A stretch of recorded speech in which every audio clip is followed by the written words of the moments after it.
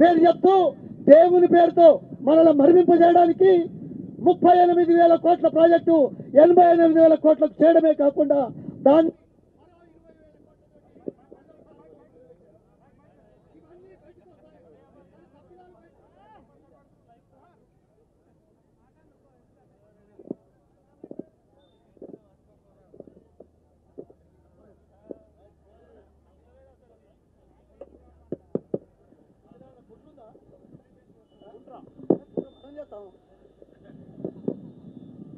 ఏమో కేసీఆర్కు వ్యతిరేకంగా గట్టిగా మాట్లాడితే ఇది- కూడా బంద్ అవుతున్నదే.